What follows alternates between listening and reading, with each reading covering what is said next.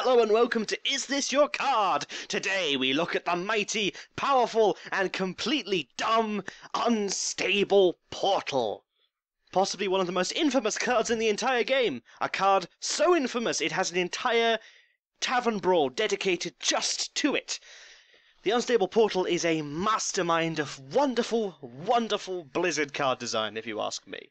Mechanically, this card works like Farsight, except it has actually got a 1 mana less cost. That's already a plus. And the difference is, this draws exclusively minions. And this draws exclusively minions from every single possible minion playable in the entire game. Not only that, but that minion costs three less. So that means that the chances are, if you pull a if you pull a zero, one, two, three cost minion, you will can play it instantly.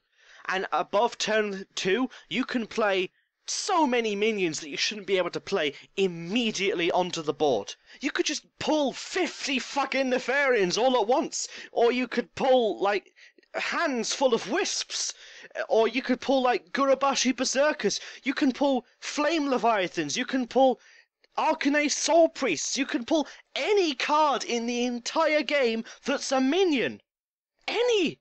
Any of them! You can't predict Unstable Portal. You can't predict it. You have absolutely no idea what that card is going to do. You have no idea what that card is going to pull. You can't prepare for it. You can't plan for it. You can stop Unstable Portal because it is a spell card. You can stop it going off in the first place, but you can't stop whatever comes out of that, po- that portal being either your victory or your death. Unstable Portal is the perfect incarnation of how RNG is fun. It's like the next level web spinner. And web spinner enough was pretty crazy, giving you almost every single beast from King Krush to a Savannah Highmane. But this this can pull all of those cards, including the web spinner, and everything else. There is no denying this card is fun. Like some people, I suppose, who, who like balance and organization and planning will go, "Oh, this card's not fair. You can't plan for it. It's too random."